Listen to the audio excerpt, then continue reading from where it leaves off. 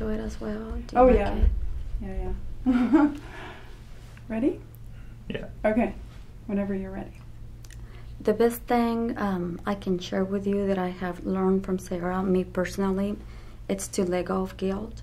I think um, a lot of people feel guilty whenever you say no to certain things that you can do, and you go, "That's me." I go out of my way to try to please people, etc. And I finally understood that um, in order to help others, you first have to be okay and you can't put yourself in a position, especially spiritually, spiritually, that's going to hurt you.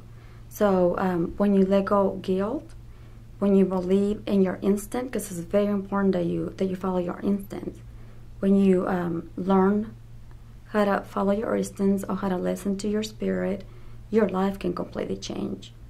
Um, one thing that she has taught me is that there's no mistakes and um, everything in life, every relationship, every job, everything you do, every decision you make, whether it's good or bad, take it and learn from it, and leave one date at a time because that's all we can do.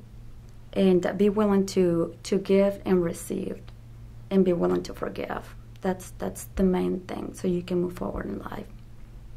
Thank you. Excellent. Thank you.